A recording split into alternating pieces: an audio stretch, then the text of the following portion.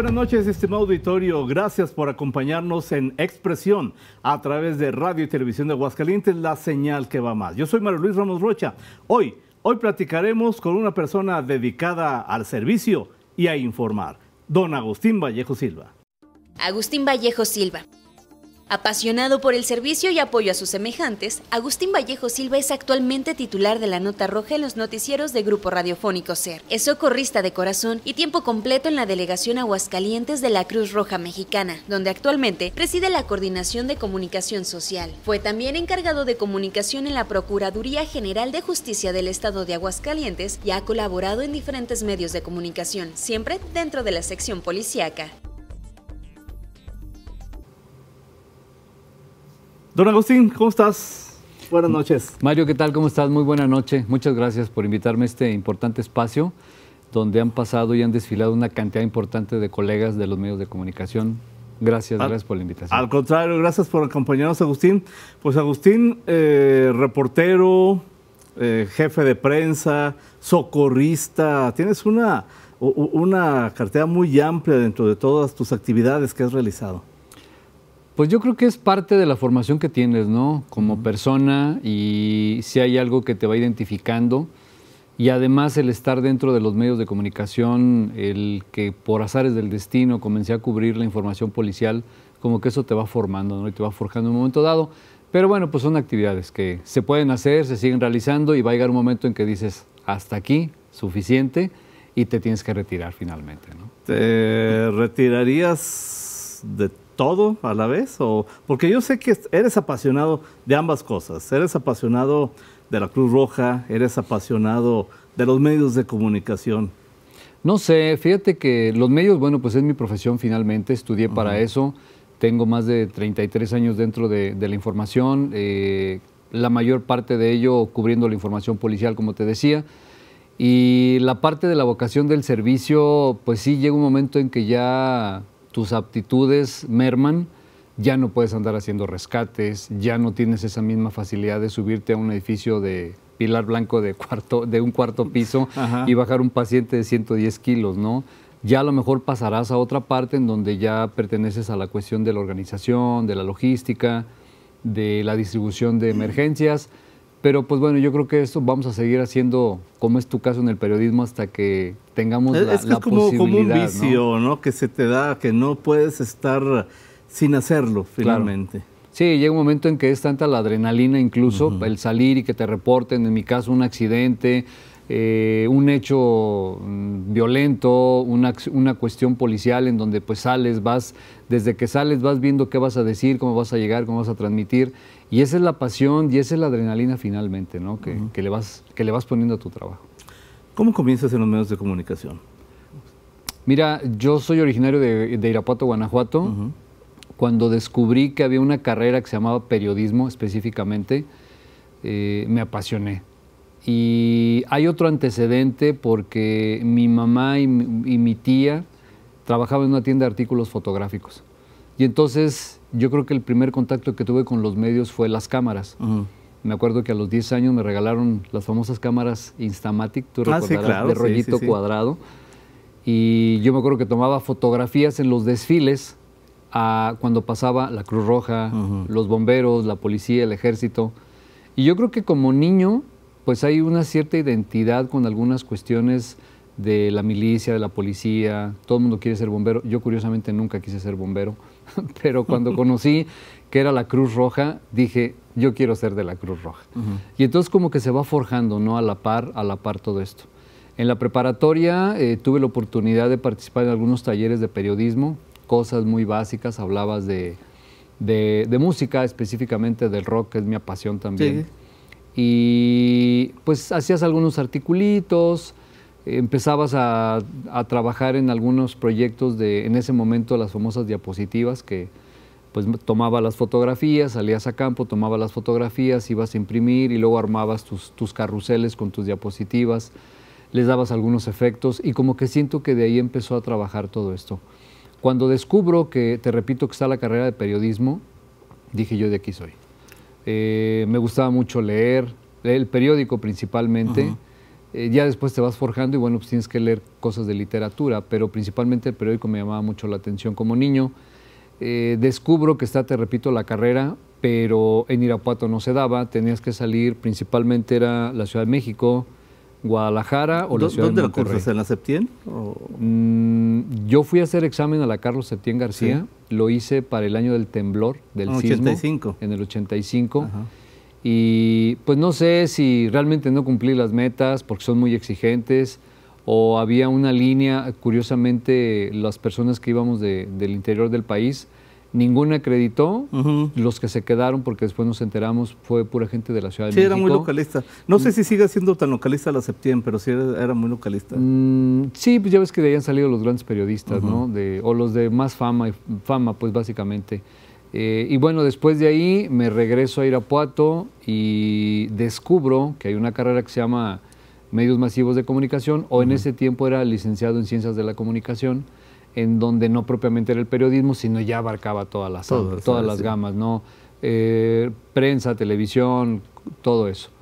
Y dije, bueno, pues si no se puede en el periodismo como tal, pues creo que es una mejor opción. Y qué bueno, ¿eh? porque por los azares del destino me especialicé en radio. Eh, he incursionado muy poco en la prensa escrita. En una ocasión me diste la oportunidad junto con Mario. Sí, en el no, se, no se pudo seguir trabajando por cuestiones también de, de la radio, pero pues mi pasión siempre ha sido la radio. ¿no? Entonces descubro, te repito, esa carrera. Eh, sé que la dan aquí en la universidad. Vine a la universidad, pude ingresar a la- aquí a la autónoma y aquí finalmente hice mi, mi- mi carrera de, de comunicación. Muy bien. Estamos con Agustín Vallejo Silva esta noche a través de la señal que va más en expresión. Tenemos una pausa y continuamos. A veces tienes que llegar a la exageración. Perdón que lo exprese así, pero No, pero es que sí lo hace. Además, te repito, hay tanta competencia ya, pero ya con información importante. No, no compito realmente con, con los que tienen información en el momento. Pierdes rating, Es de rating. que al también. final de cuentas para la radio es bien importante.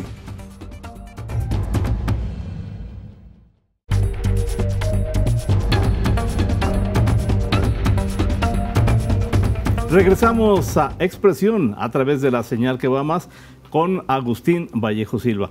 Agustín, dentro de tu actividad eh, como, como socorrista, obviamente, pues tienes eh, un contacto muy directo con los hechos que quizá otros reporteros no podrían tener, que tienen solo de oídas. Y voy a lo siguiente. Eh, en los últimos años me he percatado que luego hay algunos grupos de reporteros policíacos donde si hay un laminazo, un choque tipo laminazo, lo manejan como dos muertos, volcadura, se incendia. Eh, ¿A qué atribuyes este, este tipo de exageraciones, mala información o, o el ansia por ganar una nota que al final no se dio? Yo creo que es tan competitivo ahorita y todo el mundo quiere tener el primer lugar y hay muchos, eh, hay muchos espacios en las redes sociales. Había alguien que me decía, ¿por qué no pones tu, tu programa de, en, en- en Facebook? Le decía, mira, lo que yo puedo hacer lo están haciendo mil personas. La misma nota que yo puedo dar a conocer es la que los otros, por ejemplo, hay otros tres, tres hay tres programas especiales de, de policía, lo van a dar también, cada uno con su estilo. Pero no hay más cosas. No es la Ciudad de México que cada quien pudiera tener una información que no sea la misma que tú puedas dar, ¿no?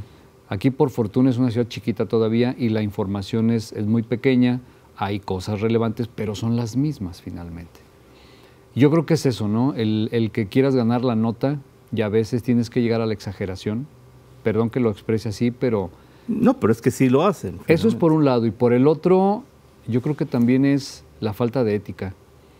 Algo que en mi caso creo que me ha ayudado bastante es haberte formado en unas aulas universitarias, pero lo más importante es haber estado con gente grande que le aprendes. Y le aprendes el formalismo, le aprendes la ética y el ser honesto con las personas que te van a escuchar, como en este caso es la radio para mí. Si tú exageras, va a pasar lo que ha sucedido con muchos programas que conocemos, ¿no? Donde pierdes calidad, pierdes respeto, que es lo más importante, y la gente ya no cree en ti. Entonces yo creo que no, no debes de llegar a la exageración, repito, es mi punto de vista, y tal vez por eso lo hacen, ¿no? Además, te repito, hay tanta competencia ya que todo el mundo quiere llevarse el primer lugar. Yo les digo a mis compañeros e incluso le digo a, mi, a mi director de noticias, porque hay una nota, oye, acaba de pasar, espérate, hay que confirmar, necesitamos la versión real. Pero es que es tan importante, sí, pero hay que ver si es cierto o no, porque muchas de las veces una volada, como decimos, eh, al final de cuentas tienes que decir, oiga, disculpe, no era así como lo dije, y estás mal, y la gente... Pierdes credibilidad. pierde credibilidad, exactamente. Entonces yo soy de las personas que siempre me espero para conocer una versión real, ir con la autoridad, con alguna fuente confiable, que sepas que realmente es confiable y que te va a dar, si no toda la historia, pero sí una parte donde a lo mejor ya es muy diferente a lo que está manejando. ¿no? También te ha tocado estar del otro lado, has sido este jefe de prensa de la... Ah, era Procuraduría General. Me tocó las dos, la Procuraduría y el cambio de Fiscalía. El cambio de la Fiscalía.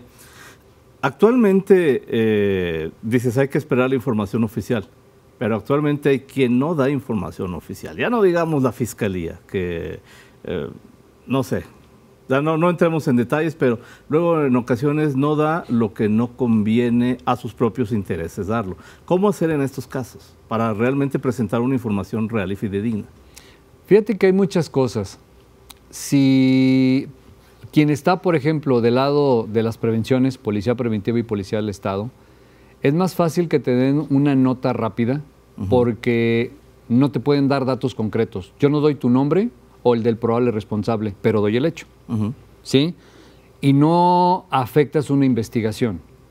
Cuando estás por parte del lado de la fiscalía, hay datos en donde si tú los sacas a la luz pública, echas abajo una investigación porque si logran detener al probable responsable del delito, los abogados defensores se aprovechan de eso y lo presentan y entonces se les puede caer el caso.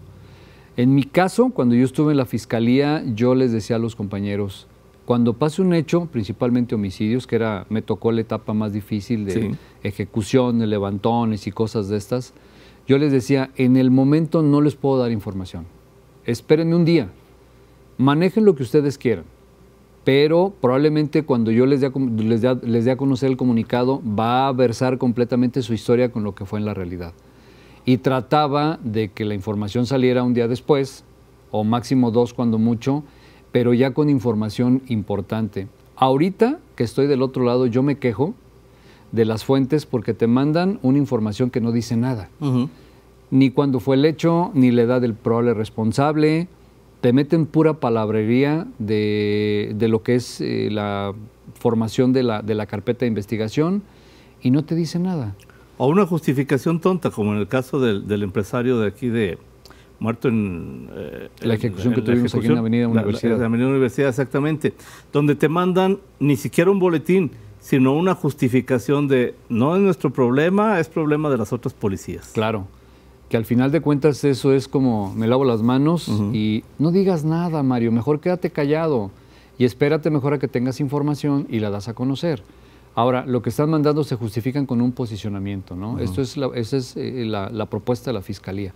No, no va por ahí el asunto y entonces quedas mal con la fuente y la sociedad que a veces te presiona, te presiona porque quieres. Eh, quieren conocer la, la verdad, qué fue lo que sucedió pero creo que para eso está también tu capacidad como periodista y como reportero. Puedes dar el hecho. No habrá datos concretos, nombre, edad, qué fue lo que sucedió, o mejor dicho, por qué lo, por en este caso, por qué privaron de la vida a la persona. Pero sí puedes dar toda una descripción donde decir cómo iba, dónde iba, qué horas pasó, el lugar, el contexto, y la gente con eso se queda conforme. No me refiero a que le vendas eh, una idea que no es, pero cuando menos le dice a conocer información, le dice parte de lo que sucedió, porque hay gente que no supo finalmente de oídas, oye, que mataron a una persona, ah, sí, mira, fue así, fue en tal lugar, esto sucedió y se está investigando. Y con eso lo haces, ¿no? no y además luego hay una dinámica en que eh, eh, he notado que también quienes consumen información policíaca, si les das una nota 30 minutos después, dicen, no, eso es viejo. Claro. Eso es viejo. También hay una voracidad por consumir este tipo de información. Pero también depende de cómo se la des a conocer. Yo en el programa de radio donde trabajo, yo les digo, señores, yo no compito con nadie. El informativo donde yo estoy, le vamos a dar a conocer la información cuando tengamos los datos concretos. Y entonces si tú le dices eso a la gente, la gente se espera. Yo, por ejemplo, tengo tres informativos. Siete de la mañana, una de la tarde y siete de la noche. Yo no tengo intermedios. Tengo los famosos cortes informativos, pero se graban previos. Y entonces eh, no, no compito realmente con, con, los que tienen información en el momento. Pero la gente se espera a que llegue el informativo y te escucha, porque ya le dijiste, yo salgo en tal momento, permítame, o bien suba a la página de Facebook y puede ver un pequeño adelanto, ¿no? un pequeño avance. Y creo que con eso a la gente la tienes contenta o al menos confiable y sabe que lo que tú le vas a decir es, es, verídico. No, no, tienes que decir después, oiga, discúlpeme, fíjese que lo que le dije no es cierto. Perdóneme, ¿eh? soy un mentiroso. No, tampoco va por ahí la cosa. Y, y además este, de que minas tu credibilidad, pues eh, ya para las próximas eh, notas que den ya no vas a, saber qué decirles. Pierdes rating. Pierdes rating. Que al final de cuentas para la radio es bien importante. La gente que te escucha es porque cree en ti, porque realmente la información que le das es verídica y porque sabe que, ok, no compites, pero cuando se la vas a dar es una información real. Muy bien. Estamos en expresión a través de la señal que va más esta noche con Agustín Vallejo Silva. Una pausa y regresamos. Hay gente que se vuelve loca con un micrófono. No me puedo desprender como eh, profesional de la salud, como paramédico. Dejas de, de momento el micrófono para poder atender a la persona. Tengo 33 años en el periodismo, Mario, y nunca, nunca he tenido ni agresión por parte de familiares, ni agresión por parte de los probables responsables o detenidos.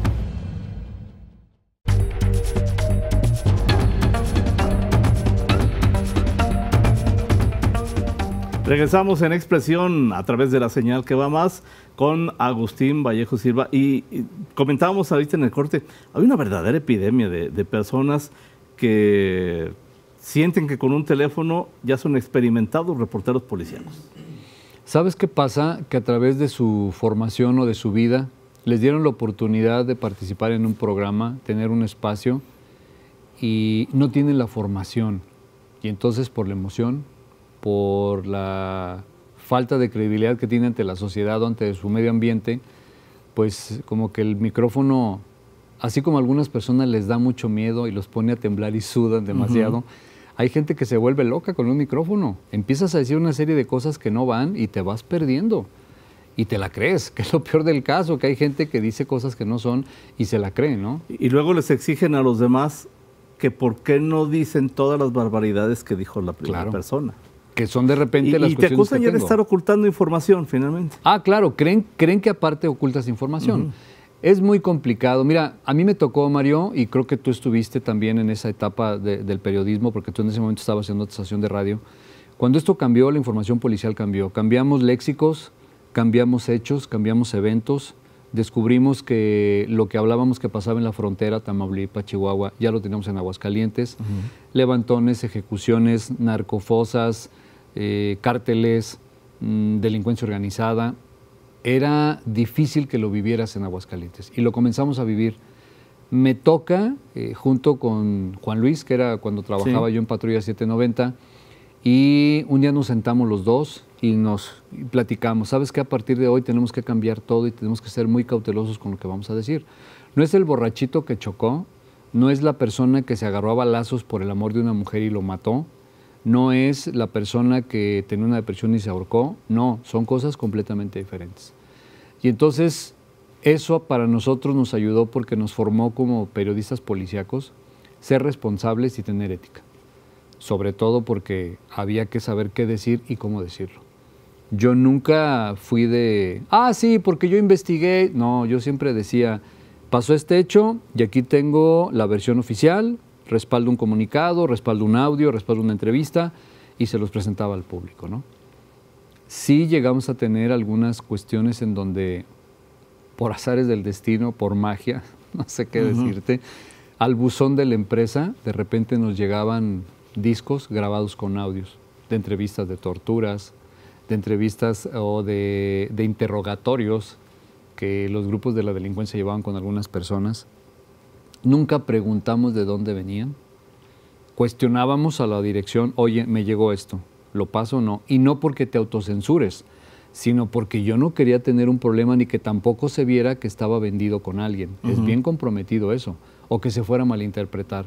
Todo era bajo consenso, Juan Luis y yo platicábamos mucho, hablábamos con los dueños de la empresa, a veces nos decían, va adelante o párenlo, espérense, eh, y entonces es como trabajamos, ¿no? Yo creo que eso para nosotros nos ayudó bastante. En tu actividad, llegas a un evento, eh, muchas personas prefieren comenzar a transmitir, comenzar a grabar con celular.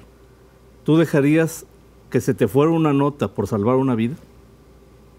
Híjole, es que ahí viene, es, es que vienen dos cuestiones, Mario. No me puedo desprender como eh, profesional de la salud, como paramédico, porque al final de cuentas tienes una preparación y tienes un compromiso con la sociedad. Me ha tocado que muchas de las ocasiones he llegado como periodista, veo que la situación se complica, pido autorización, digo, nos conocemos todos los del medio, te permiten o te piden que intervengas y entonces dejas, dejas de, momento el micrófono para poder atender a la persona.